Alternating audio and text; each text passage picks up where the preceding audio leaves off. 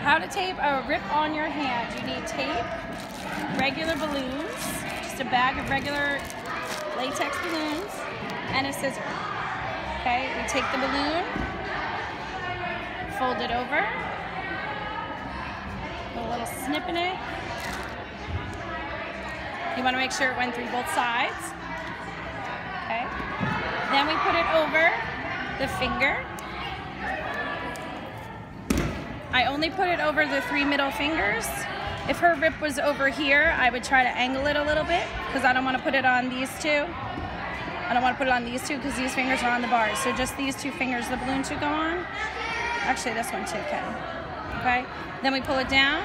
She's going to help me and hold it. And then we tape around.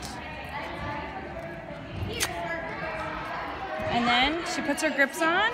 And the idea is that the balloon will move and not her skin.